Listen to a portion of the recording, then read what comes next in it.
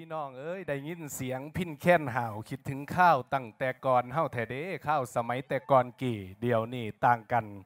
แต่ก่อนนั้นคนหักแกงแพ่งกันดีแล้ว ความสัมพันธ์มีหลายระวังส้นซุ่มเสือสิไปเนื้อหรือไต่ทางใดกระมวลซืนบ่มีเงินบาทเกียร์ทางทองกะอิ่มเป็นคนอยู่ตามพื้นบ้านก็หักแกงแพ่งกันเด้อความสัมพันธ์มีหลายหักหอมตอมตุ่มซุ่มหมูฝูงคนเฒ่า หัวขาวออกบอนมาสลอนนมหน่อยแปลงสางหีดคล้อง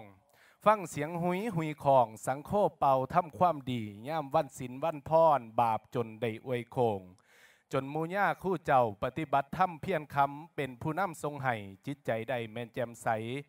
แมนสิทุกข์ยากให้กับพ่อได้แบ่งกันกินคนมหาวิทยาลัยมหาสารคามมีศิลธรรมจึงอยู่น้ำกันได้ พุ่นบ้านพีมีบ้านน้องปองดองหักแกนแนเดอบัดย่ามทุกยากแค้น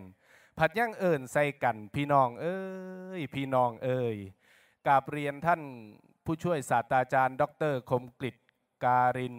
คณะบดีวิทยาลัยดุยังคศิลป์ท่านคณะผู้บริหารคณาจารย์ ขอต้อนรับ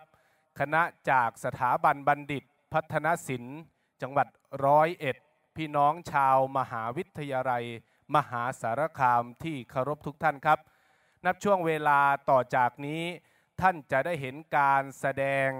ที่มีชื่อชุดว่าเฉลิมพระเกียรติเทิดไทยองค์มหาจักรีสิรินธรนั่นคือสมเด็จพระเทพรัตนราชสุดาสยามบรมราชกุมารี